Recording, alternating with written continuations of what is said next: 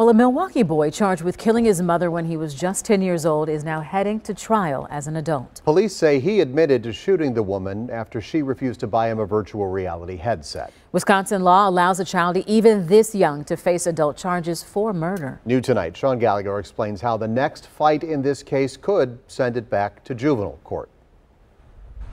For the kids who go through the Juvenile Justice Center on Watertown Plank Road, they get a number of benefits they wouldn't otherwise have if they committed those crimes just a few years later. But for the boy who was under this roof Tuesday, he may not get any of those opportunities if he's tried as an adult for killing his mother. He's a boy who should be starting school, practicing his ABCs, and coloring inside the lines. Instead, he was in a courtroom today, facing the possibility of prison for the rest of his life. TMJ4 News is not naming the boy in accordance with the judge's ruling to keep his identity private. And nothing but the truth, so help you God. Yes, I do.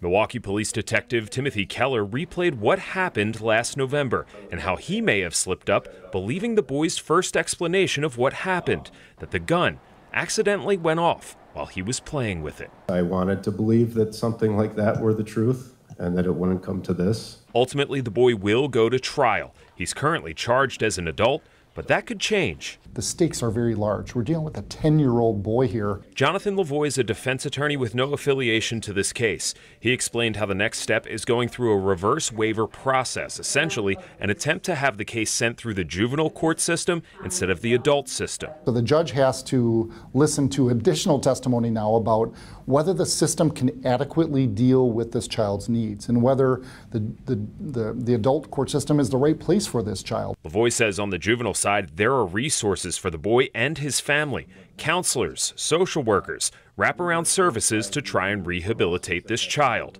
The alternative? The adult court system is much more of just a warehouse. It's very likely the juvenile court system is going to provide a lot more benefit to this child and ultimately to the community. To have the reverse waiver accepted, the boys' defense team will have to prove three things that the adult system doesn't have adequate treatment options for the boy, that a move to the children's court won't depreciate the seriousness of the crimes levied against him, and that keeping him in the adult court isn't necessary to deter other kids from committing the same crime.